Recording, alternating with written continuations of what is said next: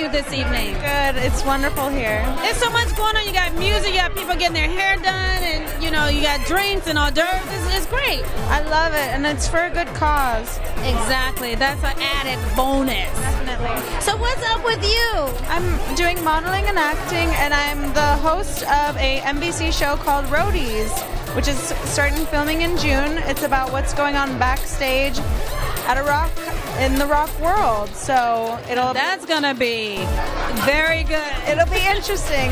Tattoos and drama. I know exactly. so that's exciting. So um, looking forward to that, and that's gonna be airing on. We're, we're starting filming in June. okay. Yeah. And it's, it's gonna be. A, do you know what network it's gonna be on? NBC. NBC.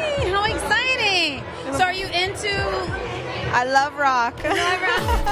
So this is not even work for you. It's no, like it's, it's like pleasure, yes.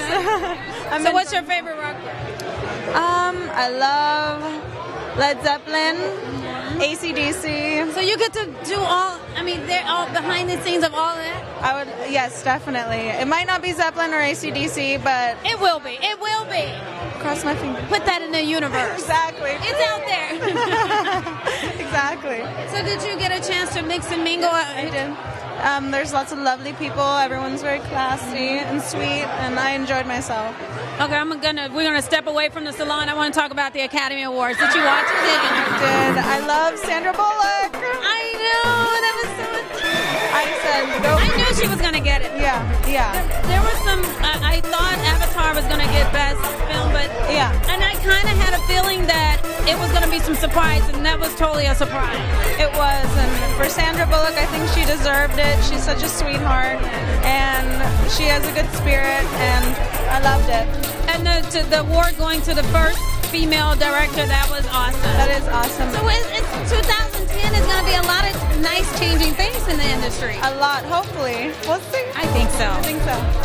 I think very nice meeting you. So I'm gonna let you mix and mingle, and I'm gonna head back to the bar see if I can get me a mojito. What are you you, you gonna get? You gonna head back there? Girl, let's go back. Let's go. All right, we, we'll be back. We're gonna go head to the bar, and uh, you can catch her backstage at the rock concerts, doing her do, and getting all the dirty info. All right. Love you guys. Bye.